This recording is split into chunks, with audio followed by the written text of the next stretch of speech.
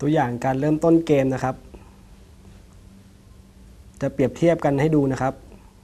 ระหว่างการเล่นที่มุมข้างและกลางนะครับ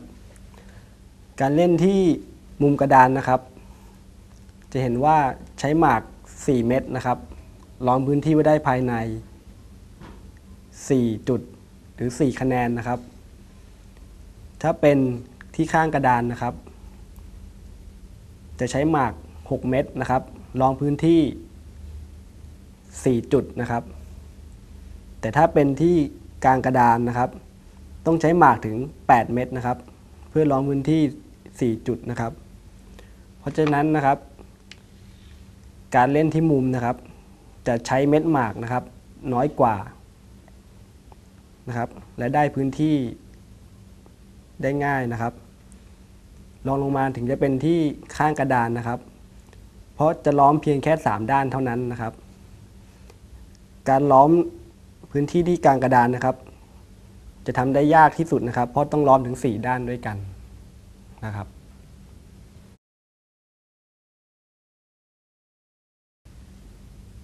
การเริ่มต้นวางหมากนะครับ ไม่ควรเริ่มที่เส้น1นะครับ หรือว่าที่เส้น2นะครับ เพราะว่าจะทำให้เราไม่มีพื้นที่ในครอบครองเลย หรือว่าได้พื้นที่น้อยนะครับ ดูตัวอย่างกันนะครับ เห็นไหมครับ การวางที่เส้น1เราจะไม่มีพื้นที่ครอบครองเลยนะครับ ส่วนการวางหมากในเส้น2นะครับ เรามีพื้นที่ก็จริงนะครับ แต่ว่ามีน้อยมากนะครับ การขยายตัวไว้ด้านข้างนะครับ ก็จะขาดประสิทธิภาพไปด้วยนะครับ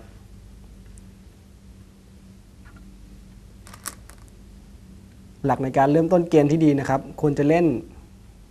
ที่เส้น 3 นะครับ หรือว่าที่เส้น 4 นะครับ ลองดูตัวอย่างนะครับ การเล่นที่เส้น 4 นะครับ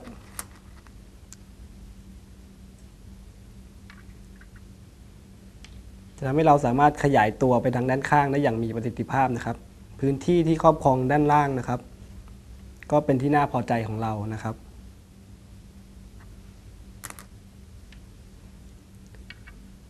เช่นเดียวกันนะครับ กับการเล่นที่เส้น3นะครับ การขยายตัวด้านข้างนะครับ จะมีประสิทธิภาพมากนะครับ พื้นที่ในครอบครองนะครับ อยู่ในปริมาณที่เราพอใจเช่นเดียวกันนะครับ จากตัวอย่างนะครับ จะเห็นว่าหมากขาวนะครับที่ข้างกระดานกลุ่มนี้นะครับ เป็นหมากกลุ่มที่อ่อนแอนะครับ ถ้าปล่อยให้หมากขาวกลุ่มนี้นะครับ เชื่อมกับ กลุ่มหมากที่อยู่ด้านนอกนี้ได้นะครับ ก็จะกลายเป็นกลุ่มหมากที่แข็งแรงนะครับ ดังนั้นนะครับ การตัดหมาก ก็จะแบ่งกลุ่มนะครับ หมากของฝ่ายตรงข้ามออกเป็น 2 กลุ่มด้วยกันนะครับ ตัวอย่างการเชื่อมหมากนะครับ ให้สังเกตดูนะครับ หมากขาวนะครับสองกลุ่มนี้นะครับโดยที่หมากขาวกลุ่ม ด้านข้างกระดานนี้นะครับ ถ้าโดนหมากดำนะครับ ตัดออกจากกลุ่มด้านนอกนี้นะครับ ก็จะไม่มีพื้นที่พอที่จะสร้างสองห้องจริงด้านในได้นะครับ สุดท้ายหมากขาวกลุ่มด้านในนี้ ก็จะต้องตายแน่นอนนะครับ เพราะฉะนั้นนะครับ ถ้าเราต้องการที่จะช่วยหมากขาวกลุ่มด้านใน เราสามารถทำได้โดยการ เชื่อมนะครับหมากเข้ากับกลุ่มด้านนอกนะครับ ก็จะทำให้กลุ่มหมากของเรานี้แข็งแรงขึ้น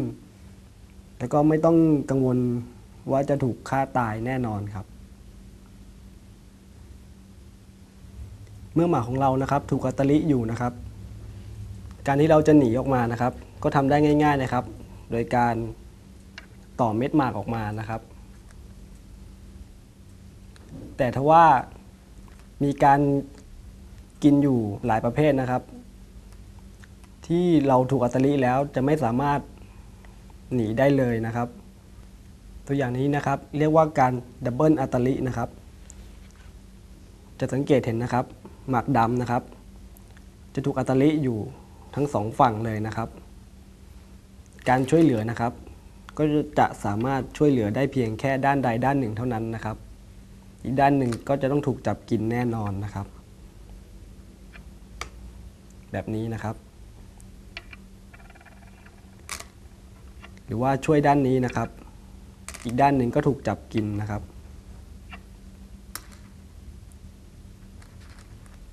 ตัวอย่างนี้นะครับคือการถูกอัตลินะครับที่เส้น2นะครับ เมื่อถูกอัตลิที่เส้น2นะครับ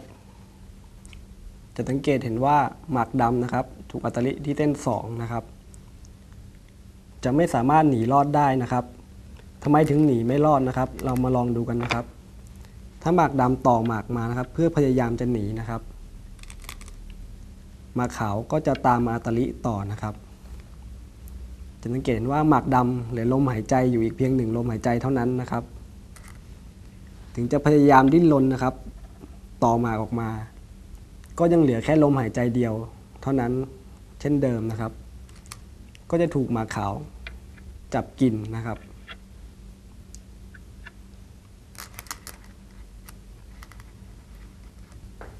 การถูกอัตลิที่เส้นหนึ่งนะครับสังเกตเห็นนะครับหมากดำถูกอัตลิอยู่นะครับ ถ้าหมากดำพยายามจะช่วยนะครับ โดยการต่อหมากเชือกออกมาหมากขาวก็จะตามอัตลิต่อนะครับ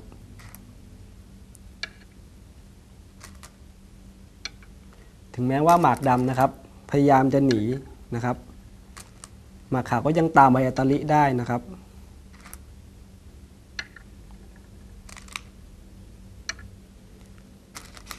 จนถึงที่มุมกระดานนะครับ หมากดำนะครับ ก็จะไม่สามารถหนีต่อไปได้แล้วนะครับ แถมยังเหลืออยู่แค่เพียงหนึ่งลมหายใจเท่านั้นนะครับ เพราะฉะนั้นนะครับก็จะถูกหมาขาวจับกินนะครับ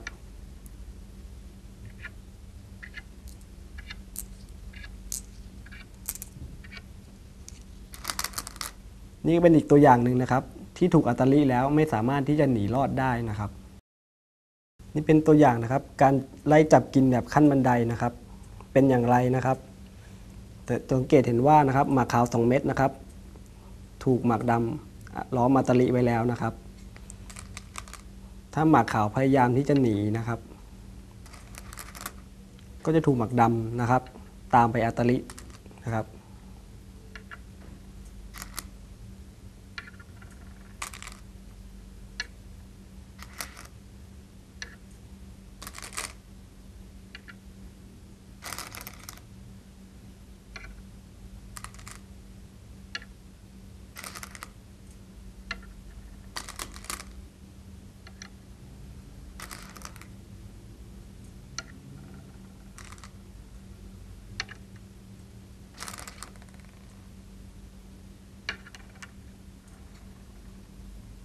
การไล่อัตราเรียบขั้นบันไดนะครับ ถ้าฝ่ายที่หนีไปนะครับ จะมีลักษณะเหมือนเป็นขั้นบันไดแบบนี้นะครับ จึงเรียกว่าการหนีแบบขั้นบันได แต่ว่านะครับเมื่อหนีไปถึงสุดขอบกระดานแล้ว ก็ยังเป็นฝ่ายที่ต้องตายอยู่ดีนะครับ เพราะว่าเหลืออยู่เพียงแค่หนึ่งลมหายใจเท่านั้นนะครับ การจะหนีจากการถูกไล่จับกินแบบขั้นบันไดนะครับ ก็มีข้อสังเกตง่าย ๆนะครับ คือเราต้องรู้แนวขั้นบันไดของเรานะครับ ที่จะลากผ่านมาทางนี้นะครับ คือแนวขั้นบันไดนะครับ ถ้ามีหมากของเรานะครับ อยู่บริเวณแนวขั้นบันไดนะครับ เราก็จะสามารถหนีรอดพ้นนะครับ มาดูตัวอย่างนะครับ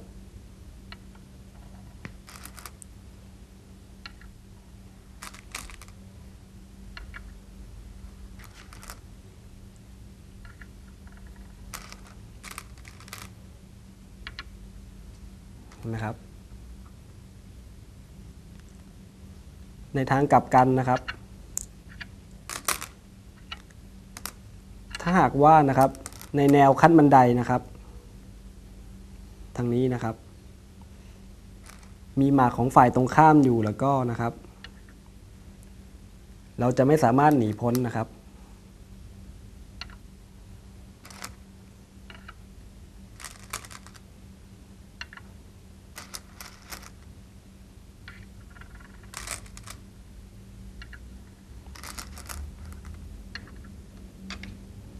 เห็นไหมครับ หนีไม่พ้นนะครับ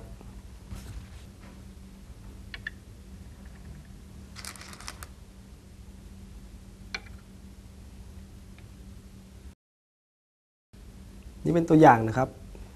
การจับกินแบบวางตะข่ายดักไว้นะครับ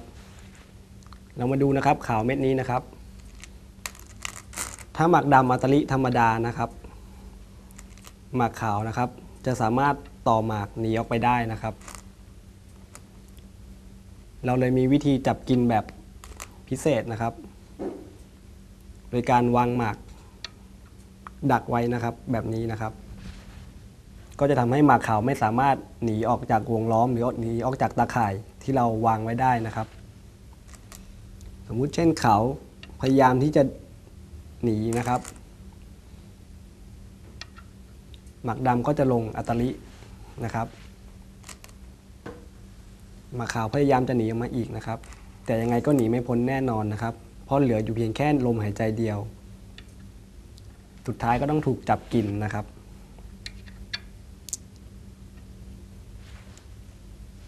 อีกตัวอย่างหนึ่งนะครับ ถ้าเราต้องการที่จะจับกินนะครับ ถ้าเราอัตลิธรรมดานะครับ มาขาวก็จะต่อมาออกมานะครับ เพื่อจะหนีรอดนะครับ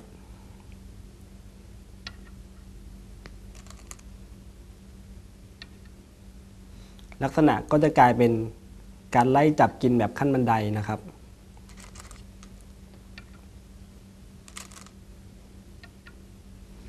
ซึ่งเป็นการยุ่งยากมากนะครับ เพราะเราก็ไม่รู้ว่านะครับ หมาขาวจะหนีรอดไปได้หรือเปล่านะครับ เพราะฉะนั้นนะครับ เราก็ใช้เทคนิคนะครับ การวางตะข่ายดักนะครับ จะทำให้หมากขาวเม็ดนี้ไม่สามารถหนีรอดไปได้นะครับ ถ้าเป็นในกรณีนี้นะครับ เราก็จะอัตลิไปก่อนหนึ่งครั้งนะครับ ถ้าหมากขาวพยายามจะช่วยนะครับ ก็จะต่อหมากออกมาเราก็จะใช้เทคนิคการวางตะข่ายดักไว้นี่แบบนี้นะครับ ก็จะทำให้หมากขาวไม่สามารถหนีออกจากวงล้อมของเราได้นะครับ ถ้าหมาขาวต้องการที่จะช่วยหรือพยายามจะหนีนะครับ ก็จะถูกอัตลินะครับ สุดท้ายหมาขาวก็หนีไม่รอดนะครับ เพราะเหลืออยู่เพียงแค่หนึ่งลมหายใจเท่านั้น ก็จะถูกหมากดำจับกินแน่นอนนะครับ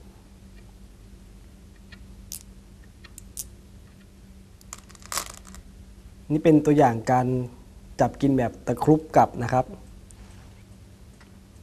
ให้เราสังเกตดูนะครับ หมากขาว 2 เม็ดนี้ เราจะจับกินอย่างไรนะครับ ถ้าเราอัตลิธรรมดานะครับ หมากขาว 2 เม็ดนี้ก็จะต่อหมากเชื่อมกับกลุ่มใหญ่นะครับ และสามารถหนีรอดออกไปได้นะครับ ซึ่งเราจะไม่ได้กำไรเลยนะครับ เพราะฉะนั้นนะครับเรามีวิธีการนะครับ คือ นะครับลงหมากนะครับ ยอมให้คู่ต่อสู้จับกินก่อนนะครับ 1 เม็ดนะครับ จะเห็นว่าหมากขาวนะครับ สามารถจับกินหมากดำเม็ดนี้ได้นะครับ แต่พอหมากขาวจับกินดำได้ 1 เม็ดแล้วนะครับ จะกลายเป็นว่าหมากขาว 3 เม็ดถูกหมากดำอัตลิอยู่นะครับ ซึ่งหมากดำสามารถลงหมากและจับกินขาวได้ถึง 3 เม็ดนะครับ อันนี้นะครับก็จะทำให้หมากดำนะครับ ได้กำไรจากการ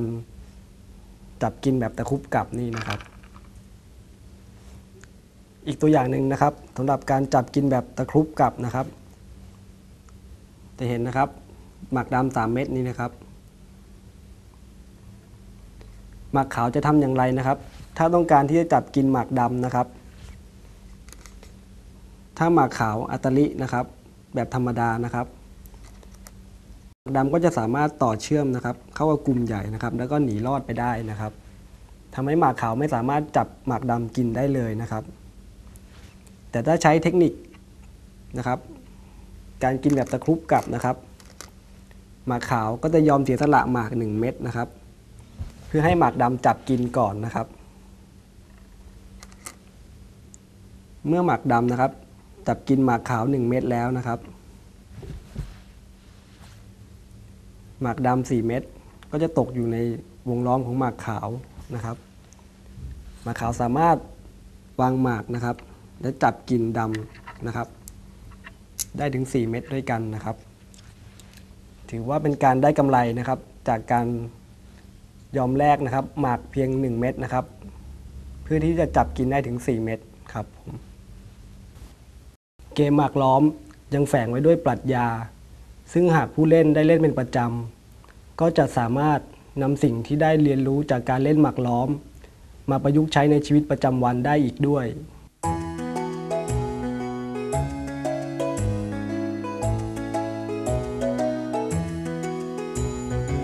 หมากล้อมถือกำเนิดขึ้นในประเทศจีน มีประวัติความเป็นมายาวนานกว่า 3,000 ปี ในภาษาจีนเรียกหมากล้อมว่าหวยฉี หมากล้อมเป็นทั้งศาสตร์และศิลป์ขั้นสูง ได้รับการยกย่องให้เป็นหนึ่งในสี่ของศิลปะประจำชาติของจีน หมากล้อมเข้าไปยังประเทศญี่ปุ่นเมื่อประมาณ 1,500 ปีก่อน ในภาษาญี่ปุ่นเรียกหมากล้อมว่าอิโกะ หรือเรียกสั้นๆว่าโกะ ซึ่งได้รับความนิยมเป็นอย่างสูง จนกลายเป็นกีฬาประจำชาติชนิดหนึ่งของญี่ปุ่น และเป็นประเทศที่เริ่มจัดตั้งสมาพันธ์หมากล้อมนานาชาติขึ้น และได้มีการจัดการแข่งขันหมากล้อมเป็นประจำทุกปี ซึ่งปัจจุบันมีสมาชิกมากกว่า 50 ประเทศ รวมทั้งประเทศไทยด้วย ปัจจุบันหมากล้อมเริ่มแพร่หลายในหมู่นักเรียนนักศึกษา เยาวชนคนรุ่นใหม่ได้ให้ความสนใจในการเล่นหมากล้อมเป็นจำนวนมาก มีผู้เล่นหมากล้อมฝีมือดีเกิดขึ้นมากมาย และมีแนวโน้มที่จะมีผู้เล่นหมากล้อมเพิ่มขึ้นอีกมากในอนาคต